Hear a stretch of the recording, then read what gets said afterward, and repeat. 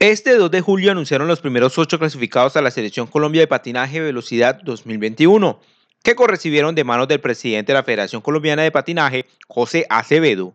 Entre ellos está el barranqueño Elimelec Ospino, quien se ha destacado en varias competencias y hoy con orgullo su tierra le agradece por este importante logro. Primero que todo darle gracias a Dios, a mis papás y al entrenador, fisioterapeuta, a cada persona que hizo parte de todo esto, de todo mi proceso.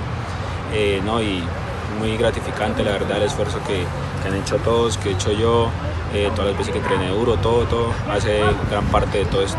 Hoy Barranca Bermeja vuelve a tener un competidor de talla alta en la selección colombiana de patinaje. El Imelec se ha referido a estas tierras bermejas. Señor, eh, eh, por Barranca Bermeja, claro, es mi tierrita.